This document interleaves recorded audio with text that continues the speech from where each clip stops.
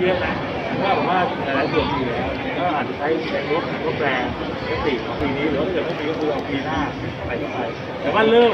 คืออย่าไปเริ่มเลยมันหรูหรามากคือถ้าเราคิดว่าต้องใช้ประมาณเยอะอาจจะเป็นทางนั้นเริ่มจากสิ่งที่มีอยู่กับคุณไม่ดีขึ้นที่การหนึ่งที่น่าสนใจคือการท่องเที่ยวมีร้านจักรยานที่เราเห็นอย่างที่กลับลงไปพื้นที่ตลาดน้อยเนี่ยมีนักท่องเที่ยวฝรั่งสองร้อยคนขี่จักรยานที่ในชุมชน ซึ่งเขาไม่ได้ออกสนใจเลยก็ขี่แบบตามนัดเลาะไปตามเส้นทางต่างๆก็สร้างเศรษฐกิจชุมชนด้วยก็แวะกินน้ำแวะซื้อของของกินกันในชุมชนเรียกว่าเป็นสิ่งที่ดีแล้วก็เราสามารถเข้าใจว่ากลุ่มคนขี่จักรยาก็ได้พัฒนาเส้นทางเหล่านี้ขึ้นมาแล้วเป็นเหมือนแผนที่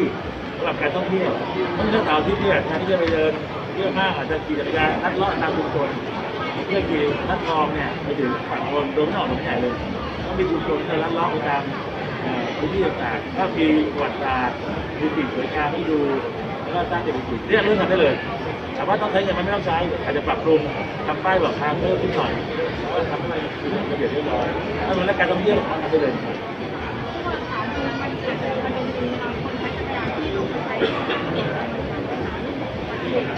ใช่คือคือแล้ไม่ใช่แค่นั้นมีสามกลุ่มเลย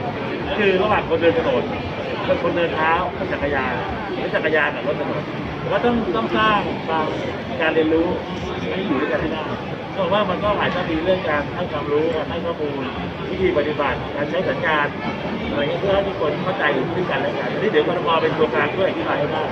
เพราะว่ามันมันก็คือการเรียนรู้ที่จะอยู่ร่วมกับคนที่อยากจะแบบใช้ชีวิตต่างจากเรา แต่ว่าก็ต้องให้มีการมานเราอยู่หรือไม่ก็ได้การขี่จักรยานตามสวน ซึ่งในที่แล้วก็มีทะเลาะกันขี่มียานคนที่ของไหนสุดท้ายแล้วเรากรทมรู้สึกว่าที่จะอธิบายมีกฎเกณฑ์ที่เหมาะสมต้องรู้หลักการอยู่ร่วมกัน